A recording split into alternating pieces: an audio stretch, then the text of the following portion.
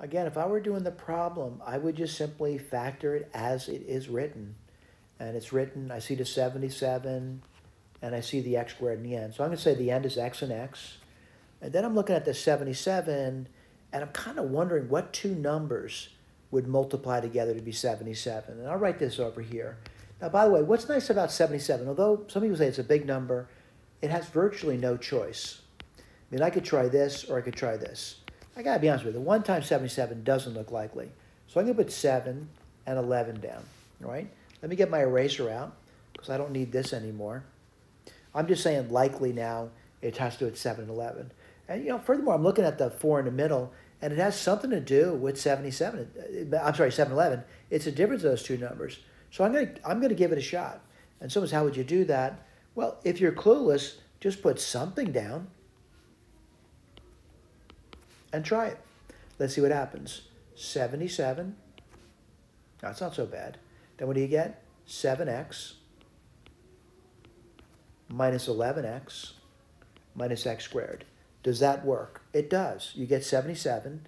And if you took 7x minus 11x, you get minus 4x, and you get minus x squared. So this is an answer. All right? Let me get my eraser out, and let me talk about what some other people do. All right? Again, don't think one way is better than another. It's not. It's your way of going about the problem. What some people do, believe it or not, is they try to write them so they always look the same. That is, the x squared's in front with a positive coefficient. So what they do is they factor out a minus 1. And what do they get? x squared plus 4x minus 77.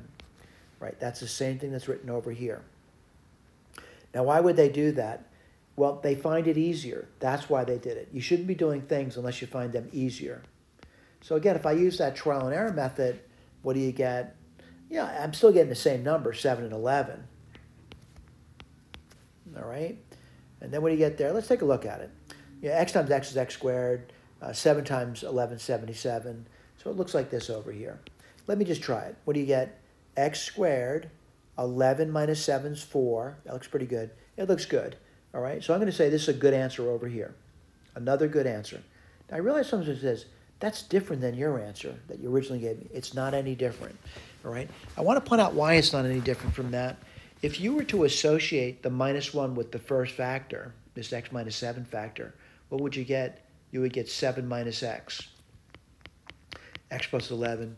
You should realize that x plus 11 it, it's an addition, it's commutative. You could also write down 11 plus x. It's the same answer.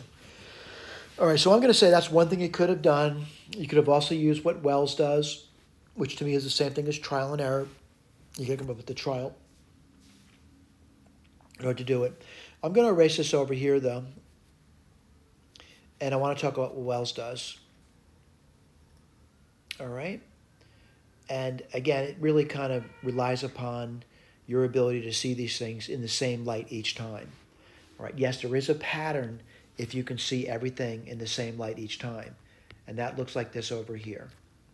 Now, by the way, that does not have to be done. Whoops, I made a mistake already. But I'm going to say, if you see the same pattern over and over again, it's pretty hard not to recognize the pattern.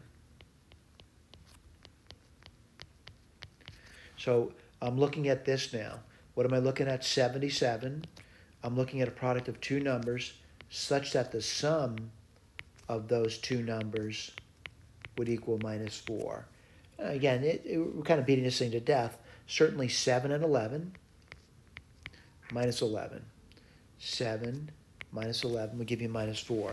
And then they split it up. Same factorization. It's not going to be any different, all right? But again, you, you decide how you want to go about the problem. I kind of like trial and error because I find it so much easier to deal with.